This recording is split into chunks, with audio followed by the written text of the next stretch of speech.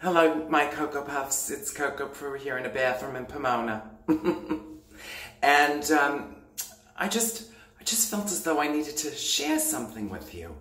I um, grew up in New York City, of course, and I was obsessed with the musical Fiddler on the Roof from when I was very young. And in fact, I think I was about two years old when my parents took me to see it. And they were so impressed with me because I sat there just riveted. I didn't squirm. I, I didn't talk. I just was riveted with what I was seeing on stage. So much so that I then wore a yarmulke around the house. Um, and I'm not Jewish, but I just was, that's how obsessed I was with this musical. Anyway, all these years later, here I am, you know, an older queen, and I realized that I've never seen the musical since then. It came to LA. I told my husband, listen, I'm not even going to try to get the cheap tickets. I'm not going to do the gold star. I'm not going to try and see who I know that can, you know, get me. Just purchase the tickets. I, I want to support the theater, so that's what we did. We bought tickets. I was very excited. And let me just say, I love the show. The dancing, I just, to hear that music again live, it was fabulous. Here's the thing. Mmm.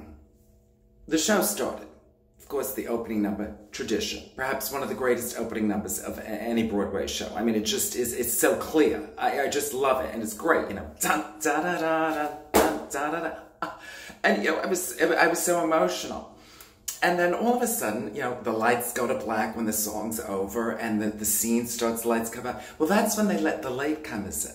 And I'm not talking three or four or five people. I'm talking hordes. Hordes of people. Late to the theater. Now, see, I told my husband we're leaving at, at 6 p.m. He says the show's not today. I said better late, uh, better early than late, and we'll have a cup of coffee, use the bathroom, read the playbill. That's what we did. Why can't other people do that? You know, I understand you have a little traffic, and if you work, whatever. That's three or four people, not hordes. Okay. Number two, sitting behind me, there was a woman who um, I guess didn't have time to eat before the show, so she brought food wrapped in tin foil, and a Tupperware. No.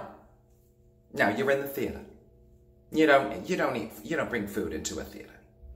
But see, maybe she thought that was okay because um, the Pantages Theater, and I'm having a little problem with, not the theater, theater's gorgeous, but who's ever running it, they have a concession stand there, and they're selling uh, bags of popcorn wrapped in little cellophane bags, bags of pretzels. Oh yeah, sippy cups. Sippy cups. So, you know, it's not bad enough that people had to get up to pee during the show. Now, now they're encouraged to drink more and have to get up and down to go pee during the show. Then, uh, of course, who doesn't love listening to a box being shaken, you know, as the um, peanut M&Ms come flying out of it, and then the crunching, you know, during sunrise, sunset. You know, that, that's, that's fabulous. And then, and then the, the crinkling to get into the pretzels. You know, the crunching of the popcorn. No. What, what, what is this? We, it, it, I'm, I'm sorry. I know it's about the money, but this is theater. You go to theater to get away from all of that, to be elevated, to have this moment, this communal moment, where what people are doing on stage is, is somehow coming out to you and you're receiving it. How can you be receiving it when you, and, and how can I be receiving it fully? At the full price I paid for that fucking ticket. When you're sitting there shaking a box of M&Ms.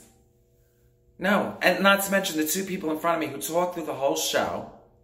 Uh, one of them thought it'd be cute to sing along. I didn't pay to listen to you sing the songs.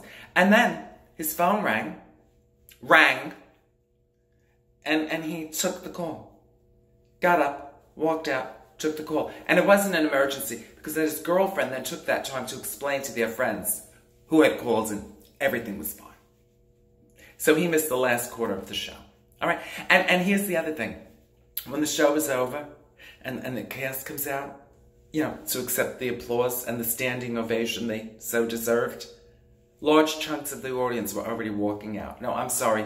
That's just wrong. These people have busted their ass not, not just that evening, but with all the training and the dancing and the years of classes to give you this moment and you can't even sit there. I'm not even asking you to give them a standing ovation if you're too fucking lazy for that. But at least sit there and applaud these people.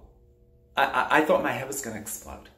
So I just wonder why aren't we elevating ourselves when we go to the theater? And why is that theater even encouraging us to sort of act like we're sitting at home watching some fucking bad reality show? And my husband says to me, why don't we go out more often? And I turned to him after that show. I said, honey, this is why we don't go out more often. Because I feel assaulted. Mm-hmm.